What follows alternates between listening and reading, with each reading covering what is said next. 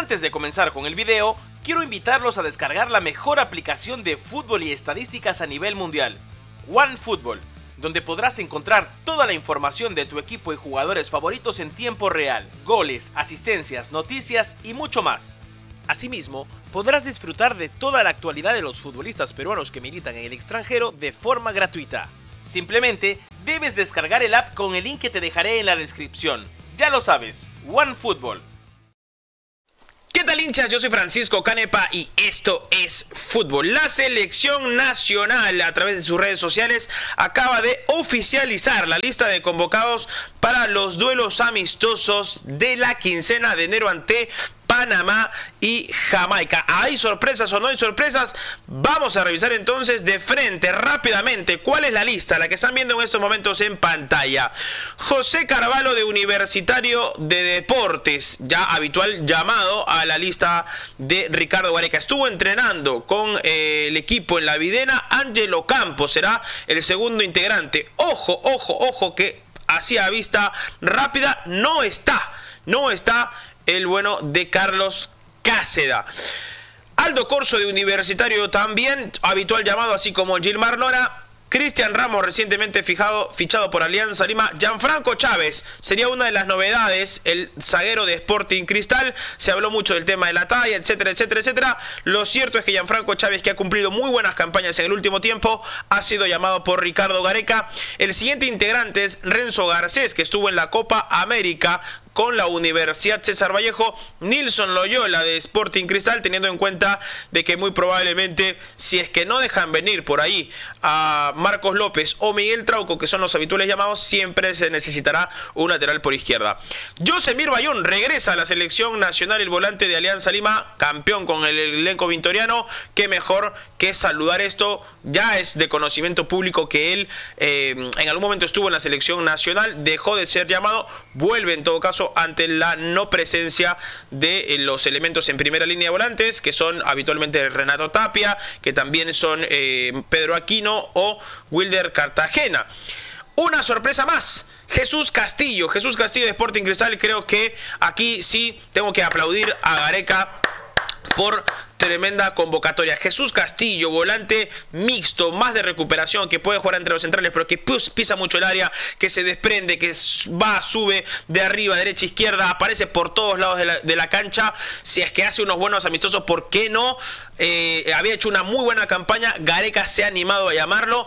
Creo, al igual que Campos, que también había hecho una muy buena participación, pero si no llegaran a jugar, por decir alguno de ellos, tenemos en cuenta de que Castillo es joven, lo puede proyectar y terminar siendo alguien muy útil en esa zona de la mitad de la cancha. Aplaudo la novedad, no la inclusión masiva absolutamente de todos, pero sí la de Jesús Castillo, que creo que bien merecido se lo tiene. Horacio Calcaterra, que para muchos dicen, no, ya está muerto. Bueno, Gareca le tiene una fe enorme al, eh, al volante de Sporting Cristal. Christopher González también, que para muchos debería ser titular incluso por encima de Yoshimaru Yotun por el tiempo eh, que o el momento que atraviesa. Oslin Mora, que regresa eh, se comió toda la banda con, Alianza Lima, parece que tiene una visión Gareca más de atacante de Mora que de lateral, lo tiene allí. Alex Valera, Alex Valera, que eh, a muchos dicen, no, Valera no, bueno, lo ha llamado Valera, goleador 9 del campeonato, peruano, goleador peruano, y obviamente a Jefferson Farfán.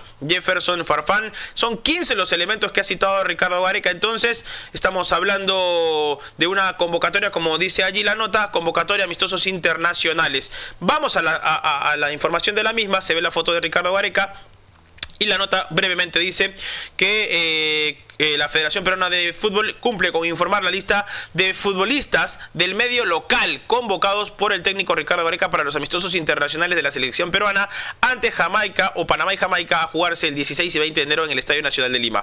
Recalca que son los nacionales recalca que son los nacionales porque seguramente van a llamar a algunos del extranjero también.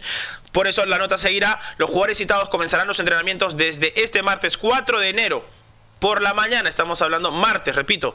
A los mismos se unirán algunos jugadores de clubes del exterior en condición de invitados mientras se coordinan las autorizaciones por con sus respectivas instituciones. Los de eh, México, los de eh, algunos de Europa eh, o probablemente también de la MLS. Vamos a ver si se da sorpresa del llamado de alguno, de alguno nuevo. En esta ocasión las sorpresas son principalmente para mí, yo diría Gianfranco, Gianfranco Chávez y Castillo, más Castillo que Gianfranco que Gianfranco Chávez, que ya estuvo en algún momento.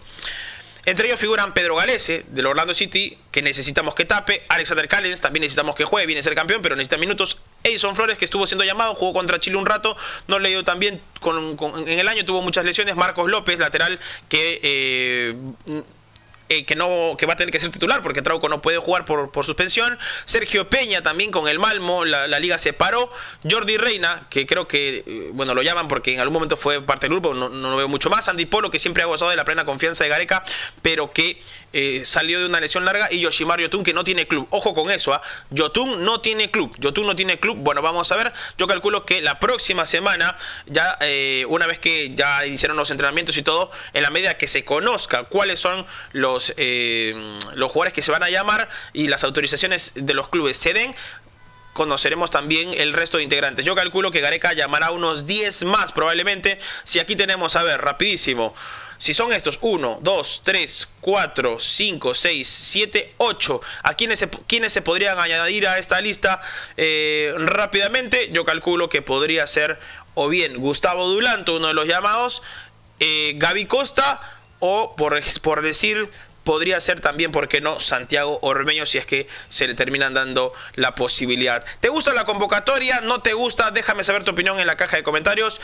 Es la convocatoria oficial para los amistosos de la mitad de enero. A mí particularmente me ha gustado el llamado de Jesús Castillo. Me preguntan por ahí, ¿hubiera llamado alguno más? No sé si se, se nos está escapando alguno. ¿Quién crees que faltó en esta lista? Déjame saber tu opinión en la caja de comentarios. Esta transmisión llegó gracias a ustedes, a todos ustedes, gracias a micasino.com, juega, y sobre todo cobra. Regístrate ahorita, regístrate ya con mi código. Esto es fútbol, todo en mayúsculas. Nos vemos, te leo en la caja. Chao. Si quieres saber quién anotó un gol o cuál de los equipos se coronó campeón, resumen y crítica Francisco en la narración. Prepárate esto es fútbol. Recuerda suscribirte y dale click a la campana. Subimos videos toda la semana. Deja tu comentario y participa del sorteo. Los ganadores saldrán en nuestro próximo video.